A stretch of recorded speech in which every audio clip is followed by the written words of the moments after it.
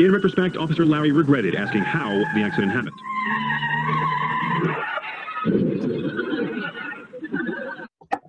In retrospect, Officer Larry regretted asking how the accident happened. All right, so the uniform circular motion means something is moving in a circle at a constant speed. So the motion is occurring at a constant speed in a circle. That's what it means. The moment of truth. Each pilot has to practice his strain in this centrifuge. As it picks up speed, the gondola on the end of the arm swings out, turning the pilot on his side. This directs the G-forces from head to toe, simulating a high G-turn in an aircraft. The centrifuge rotates once every two seconds. For a young pilot, it's quite an ordeal. The instructors know how tough it can be. They filmed themselves in the centrifuge on one occasion, recording the full G-LOC horror.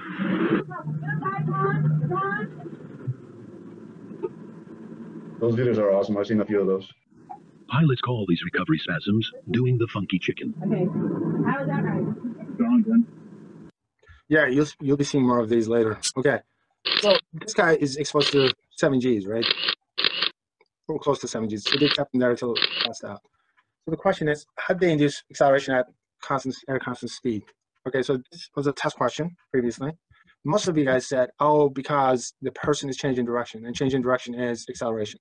Because when the direction changes, it changes the velocity, so that's an acceleration. Okay, so for those of you guys who said because the direction changes, you end up getting one out of two points. And some of you guys also said, well, changing direction changes velocity and changing velocity is acceleration. That was a little bit more of a justification. Now you got one and a half out of two points. All right. Mm, I think with the exception of one or two people, no one gets full credit for it because you didn't really fully justify it. So where do we get these definitions from, guys? We get these definitions from real life. So, the mathematical representation of real life is these definitions or the formulas that you're looking at. How do we know that the change in direction is acceleration? That's what I was asking in essence. So how do we know that something is accelerating? The car is accelerating what happens on the inside. Unstrapped objects in the opposite direction, right? Brakes on, now unstrapped objects will move forward. So speeding up is acceleration, slowing down is acceleration. Also, the changing direction is acceleration. Here's how we know. In the U.S. in the early 1900s. We know this change in direction is acceleration because notice that unstrapped objects, in this case the people, are moving away from the center. Right, so which means that the acceleration is directed in the opposite direction. All right, so this is the explanation that I was looking for. All right, so even if the people are moving at constant speed because they're changing direction, the unstrapped objects in a circle, in circular motion, will move away from the center, meaning that the acceleration is directed towards the center. All right, so this is known as the centripetal acceleration or center-seeking acceleration. All right, so the astronauts are actually in an upright centrifuge, meaning that they're sitting up with their backs against the wall, or the seat in this case. Acceleration is directed towards the center, blood is rushing away from uh, towards the back of their heads. Okay, so that's what's what's happening. So that's what I was looking for in the test. So it's known as the center seeking or centripetal acceleration. Right, pick up pick out the best answer.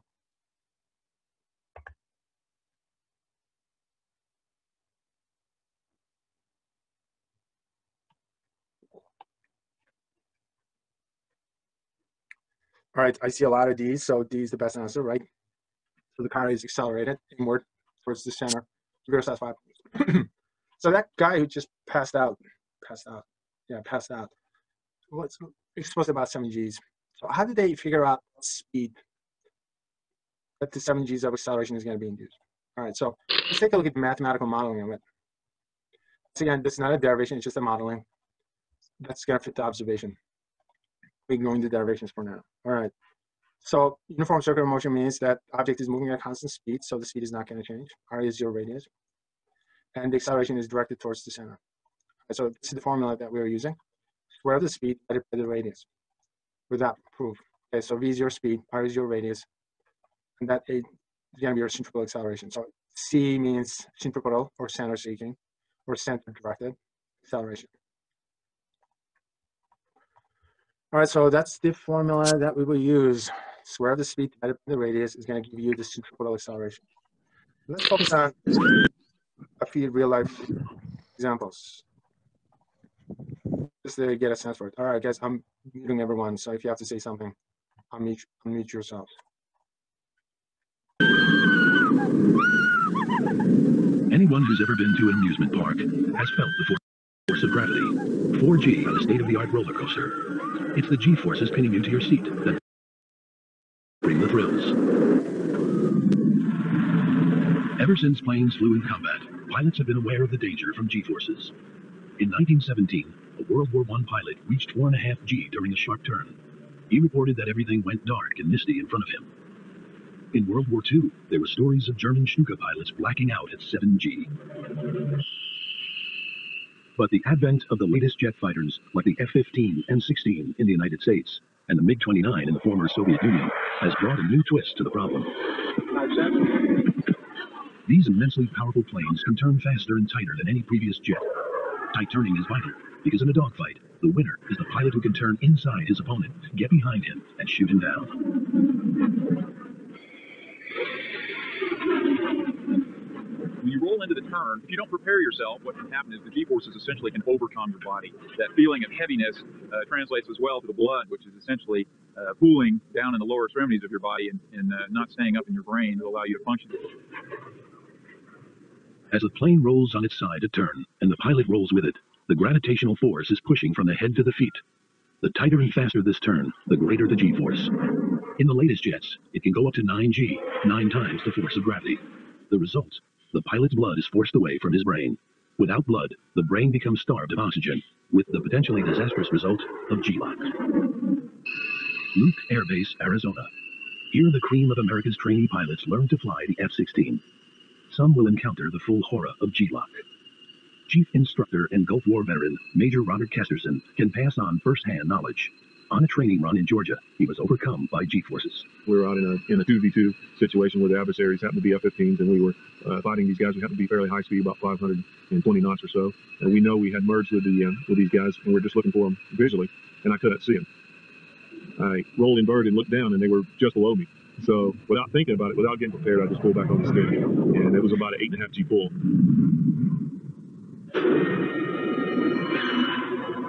Major Kesterson began to suffer the classic symptoms of G-LOC. As the blood drained out of his head, the first organs to be affected were his eyes, resulting in tunnel vision. Then he lost any sense of color. And then, gray out. He could still hear, but that was all. About 40 degrees through that pull, I started getting the gray out, and then went completely gray and couldn't see anything basically. The experienced Major Kesterson, knowing the warning signs, pulled out of his turn just in time. The blood returned to his brain. His sight came back, and he got home safely. okay, so here's a discussion you. In a dogfight situation. All right, so imagine that you got two fighter jets uh, moving at the same speed. One fighter jet is going to be able to do a tighter turn. One pilot is able to do a tighter turn other guy is not going to be able to do a tighter turn. So who has the advantage in a dogfight? First one or the second one, and why?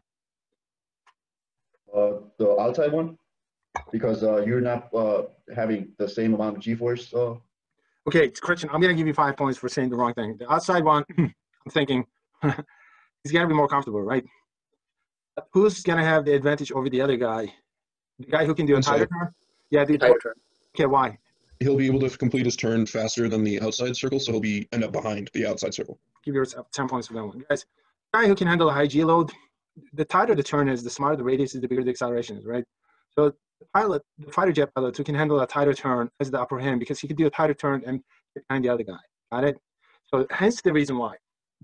The Air Force, as well as the Navy, they prefer pilots, fighter jet pilots, who can tolerate extremely high G loads without passing out. Okay, so these people usually get handpicked Everyone gets tested to check to see what their tolerance Want to go on to fly the most powerful jets in the world. For some, it will be the F-16 fighter. Others, the A-10 tank buster. They have just one day to prove their bodies are up to it. An exciting future awaits them all, but only if they can beat G-LOC. A pilot's body can usually withstand 3 to 5 G without any ill effect, but an F-16 can pull 9 G, enough to push the blood from the head right down to the legs. Today, we're going to go through about two hours of academics here in the classroom. And that's when we're going to go back on the stick, on top, breathe. One, two, three. One, two, three. The effect is to squeeze and narrow the veins and arteries in the lower body, and thus block blood entering from the head and chest. Okay. I saw a lot of red faces. That's a pretty good sign. To help them with their strain, pilots wear G-suits, trousers that contain air bladders, which automatically inflate at high G, further squeezing the blood vessels in the legs and abdomen. The G suit inflating around the legs makes it easier to squeeze those muscles against it. It makes it easier to contract those muscles. Okay, so while these guys are training, they do a lot of muscle squeezing, right? and thus block blood. The effect is to squeeze and narrow the veins and arteries in the Three. One, two, three. The effect is to squeeze and narrow the veins and arteries in the lower body, and thus block blood entering from the head and chest. Okay. I saw a lot of red faces. That's a pretty good sign. Is they constrict their muscles as hard as possible, right? To help them with their strain, Why do they do that? Because they're trying to control the motion of the blood. They're trying to make sure that the blood is not free to move every which direction. So they're trying to constrain It's- blood from moving in the opposite direction of the acceleration. it's make or break time for Captain Scott Meyer. All the way from Pennsylvania, his ambition is to fly A-10 fighters for the National Guard. It means he has to get up to 7.5 G. 18 months of training will be wasted if he fails. So this guy is trying to qualify for seven and a half Gs. He wants to qualify to actually fly a fighter jet can handle up, up to seven and a half Gs. Have a good ride. So they'll test him at seven, seven and a half. That is suit. He's been he's been training for 18 months. That's one and a half years. How do you train for something like this? What is it that you do? Let me tell you what not to do. No cardio. Absolutely not. Because it promotes good circulation. Anything that's gonna help you build muscles, absolutely not. Bigger the muscles, the better the circulation. You don't want that. So what's got left? The strength training is good because you want to be able to squeeze those muscles as hard as possible. Anything requiring strength training without building muscles, that's what you need. Another thing that helps is if you can get yourself to a level of healthy, borderline heart disease level, that's gonna hard. That's gonna help because the good circulation does not help. It's just gonna hamper your process. All right. So just McDonald's a couple of times a week, French fries. Just sit in front of the TV and squeeze those muscles. That's what you need. All right. I've seen this like a million times. I didn't even have to see it once. I'm looking at this guy. First, oh, This guy seems too healthy to me. All right. If he's gonna die, he's not gonna die of a heart disease. Not anytime soon. warm-up run without a G suit This guy's probably gonna have perfect blood circulation. to establish the level of Gs he can tolerate. All right, coming up for. And he seems very fit. He looks like he's taking care of himself. He starts to strain, tensing the muscles in his lower body So the only thing going for him is tensing those muscles, squeezing and tensing, squeezing and tensing. and breathing in short, sharp bursts. Two, three. Squeeze the legs, squeeze the legs. And he's struggling. Three, He's about three G's right now. It's not that high. one, Now he looks constipated. two, three. I got news for you. That's the last thing you want to see. I, he's- he's squeezing every single muscle. All right, Right, come through five G's. Get more intense. Get that five. more intense. Three. All right, come through six. One, two. All right, That was too much work. It would- We're almost up to six. It was five plus At six. 6G, he aborts the run. I mean, this guy trained, trained, trained. His, his circulation is way too good. Yeah, you were working pretty hard there. You can pick him up seven, seven and a half with a G suit. But if they can find someone who can handle it without a G suit, that's what they would do. Started your uh, strain at 3.2, 3.2 is too low. i most of us can handle this without training. which can be subjective at best, but I think it was a little bit early. I mean, It's Six Flags. When you guys accelerate up and down, that's about 3G. So that's how it is. With a rather low tolerance. You got all the way up to 6.6. With the G suit, we should be able You can bring them up, but they're going to look for someone else who can handle it without a G suit first. Okay, your first charge is a gradual. Whenever you're ready, just let me know. Back in the centrifuge, it's Lieutenant Jennifer Wilson's Yeah, turn. right up here. I can- She's one of the new generation of female fighter pilots. Only since 1993 have women been allowed to fly fighter aircraft. The arrival of the likes of Lieutenant Wilson raised a new problem for the G-Force scientists. We know that uh, high G tolerance, the ability to maintain G tolerance at high G, can be a strength issue. And we know that, that women are basically half as strong as men. So the concern was whether at high G, such as at 9G, would the women be able to perform as well as the men? Okay, so let's your opinions on that one.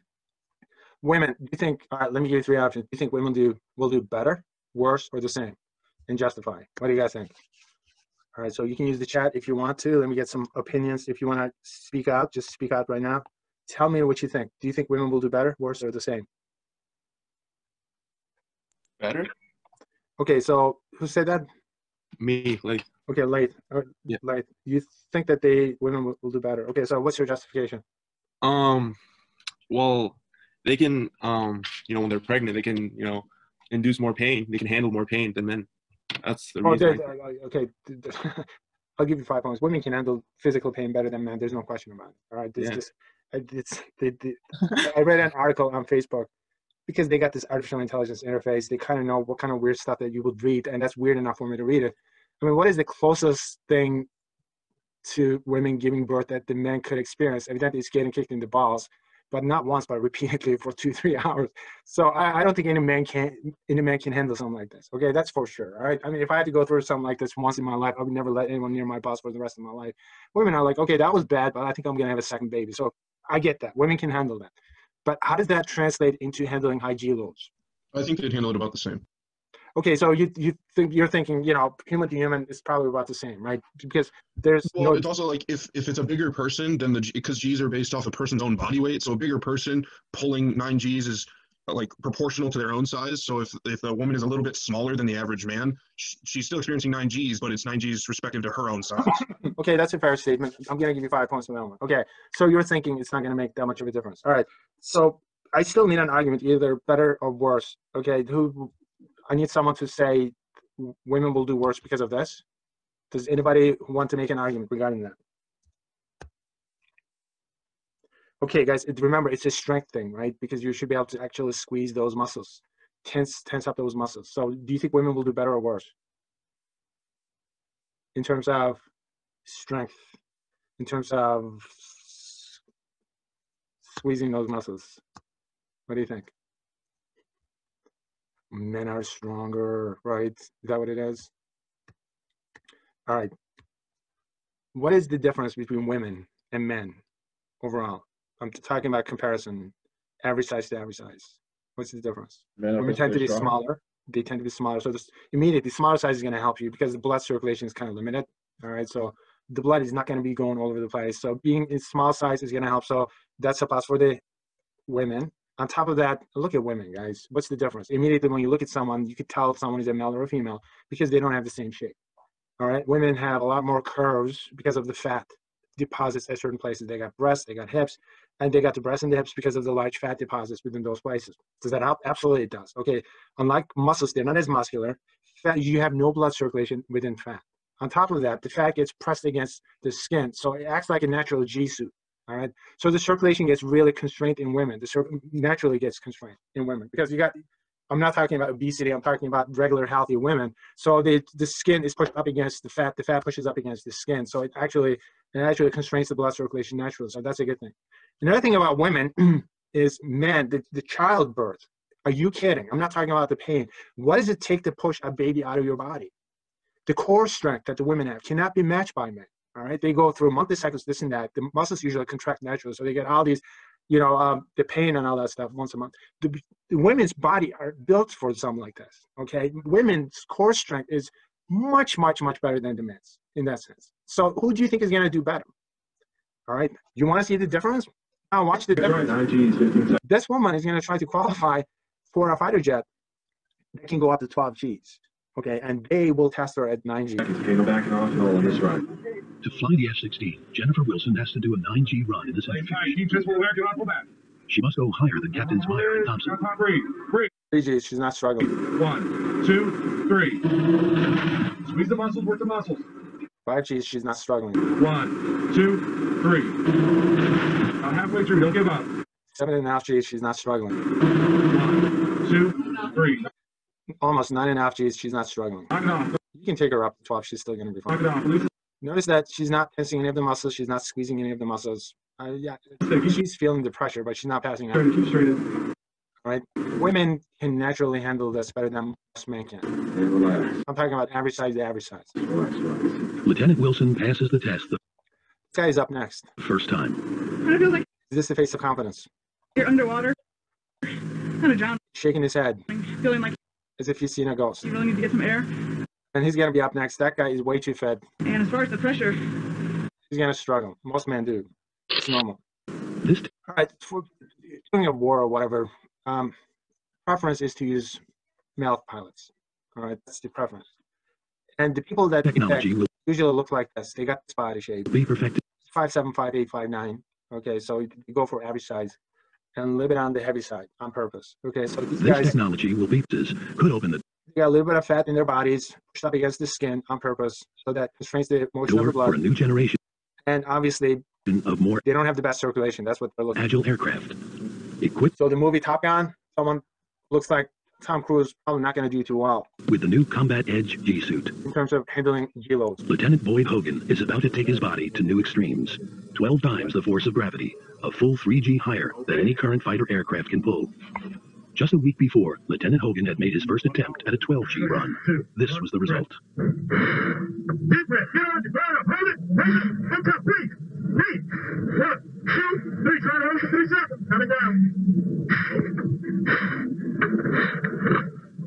That was amazing.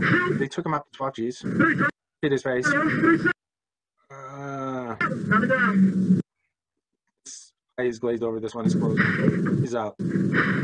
Immediately, they bring him down.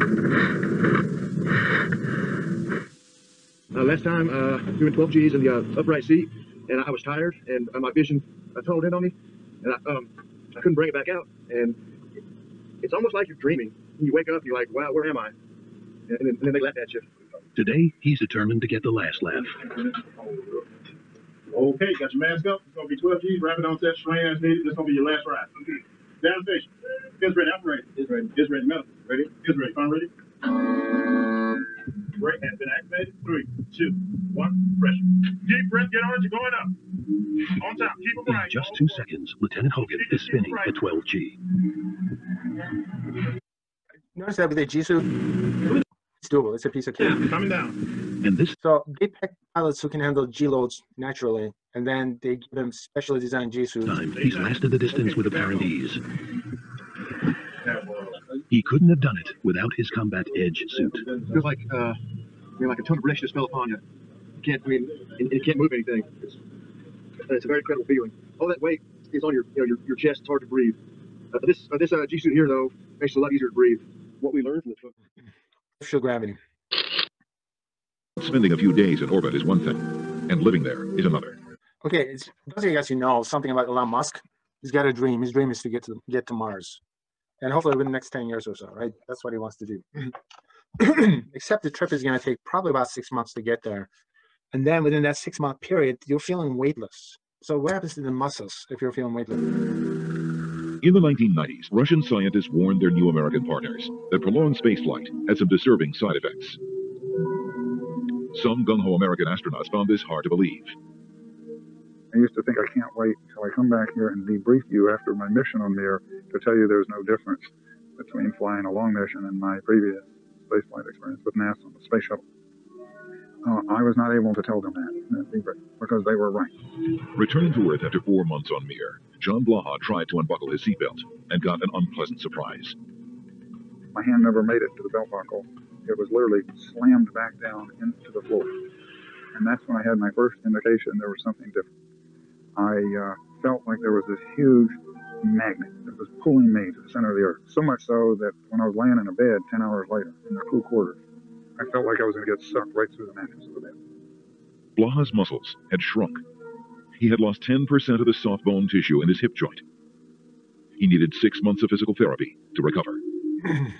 Okay, so what that means is if you're not doing anything and feeling weightless for six months, what happens to you by the time you get to Mars? If you're dropped on Mars, you're not going to be able to walk. You're not going to be able to do anything. Okay, you're like a lump of meat. So what do they do in order to retard its muscle loss in space? Escaping gravity may seem like the most fun anyone could have in space, but floating effortlessly for months or years is not what our bodies evolved to do. To combat muscle and bone loss and maintain their cardiovascular systems, space station dwellers will have to exercise vigorously. But exercise only retards physical deterioration. It's it's going to retard the deterioration. It cannot prevent it. It's not going to prevent it. So there's still going to be a muscle loss regardless of what you do. Spending a few unless somehow magically you can generate artificial gravity in space. So the question is, how do you generate artificial gravity in space? What do you have to do? Any ideas? Strap onto a heavy object. okay. You have Give to- I'll give you five points and ignore that one. Heavy object. Okay, yes, somebody else. You have to spin the space station. I don't like this, right? You just have to spin. There are plenty of problems with this, evidently, but let's pretend that this works, okay? Because Science Channel had a show on it. I didn't get a chance to record it. Evidently, they've been trying to get this to work, but it, it has an unbalancing effect somehow on people. All right, so the idea is let's not make it complicated. So you spin it just fast enough. If you're on the wall, you feel like a 1G acceleration, right? So your body is going to want to move in the opposite direction. So you will feel like Earth's gravity. Basically, that's the idea. I'm gonna ask. I'm gonna ask you the following question. If you know the answer, I'm gonna give you 10 points for it. What's the name of the first movie? The title of the first movie actually had this idea in terms of generating artificial gravity in space. Science fiction movie. Apollo 13. Apollo 13. I'll give you That five the one points. Space Odyssey. Okay, for Apollo 13, I'm gonna give you five points. Space Odyssey 2001. I'm gonna give you 20 points for that one. Okay, so uh, Space Odyssey 2001. How many of you guys seen that movie? All right, Years ago. Years ago. So when you saw the movie, did you see it because you wanted to, or was that some kind of an assignment? I wanted to. How'd you like it, Alfredo? Uh, I mean, I was like really into space when I was a kid, but I don't really remember. I have to rewatch it. Okay, you don't have to rewatch it if you don't remember it. That says that says a lot. Okay, um, this movie is one of the movies that I've seen in my life. I hate.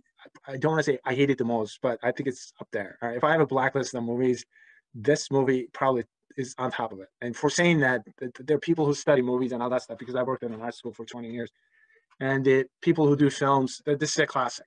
All right, and they people love this movie. They love this movie with a passion. I just as passionately dislike this movie, and there's a good reason for it. I think the movie was made in 19 late 1960s, 69 or something. So, like I said, I was born and raised in Turkey. By the time we got to Turkey, uh, it was in 1970s. Back then, the movies would take a while. So I was probably was you know I was a kid, and I wanted to see the movie because it was falsely advertised as Star Trek. All right, so I was a huge Star Trek fan. I'm talking about the original. So uh, I, convinced my dad to take me to the movie theater. He didn't want to go, so it took a lot of begging. So next thing you know, I'm sitting in the movie theater. I got news for you. Something about this movie. It's all special effects. You got these random conversations thrown all over the place. And when you're sitting and watching special effects, the, the scenes don't change that much. It's like five minutes long against the classical music. And 20 minutes into the movie, I figured that Mr. Spock, Captain Kirk, are not going to be beaming in, beaming down. So I said, Dad, let's go. This is boring. And he looked at me. He said, he said, Are you nuts? This is like one of the best movies ever. So thanks to my dad, I sat there for three hours and watched this movie. I got news for you. That three three hours felt like three years. I still remember every single scene from that movie. In fact, I remember so well that this scene stuck with me when I was preparing this lecture. All right, so I was in Wheaton, Wheaton Library. I saw the movie in passing. I'm thinking, wait a minute, I was a little kid. What did I know? I didn't have any so- sophisticated understanding of science. You know, you're kind of like a Disney type of person at that point. So I'm thinking, wait a minute, let me go watch the movie again. This time, I figured that I would enjoy it. You know, I'm a physicist, right? Again, it was the same thing. Oh my God, I could not tolerate the movie. I just tried to watch it. It wasn't going anywhere. I said, okay, I this is the scene that I wanted to grab. I grabbed it. Just so no, just so that you guys know what I'm talking about. Scene that I'm just. This scene is almost five minutes long. I'm not going to bore you with a five minute of this scene. So I'm going to cut it to the next scene. And then you're on the inside. So that thing is spinning. So it's generating uh, acceleration on this wall towards the center. Obviously, if you're on that wall, you're going to feel a pushing in the opposite direction. And now you're going to watch this guy jog for five minutes.